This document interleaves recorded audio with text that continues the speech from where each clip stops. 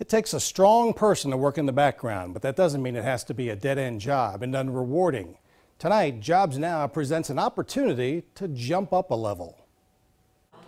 Tom Humphries returned to the regional chamber in November and is ready to roll as the CEO and president again.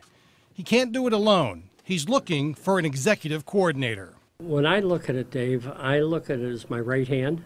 The executive coordinator is involved in pretty much everything that goes on in the office.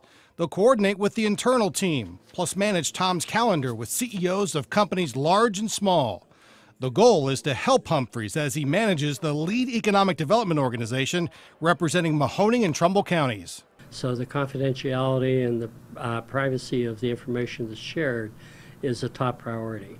The position requires a bachelor's degree in business, finance, or public relations, strong organizational skills, and just as important, to be a champion for this area and really want it to succeed. We are the champion. We believe in this community.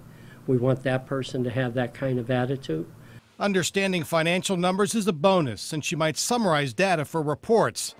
The executive coordinator is a team player who may not be the MVP, but is a vital, important part of the regional chamber team. I just hope that uh, I can get that champion from the community that would really be interested in trying to help our community because uh, nonprofits, we don't pay a lot, we're, we're respectable, uh, but the rewards of helping people is the kind of person I'm looking for.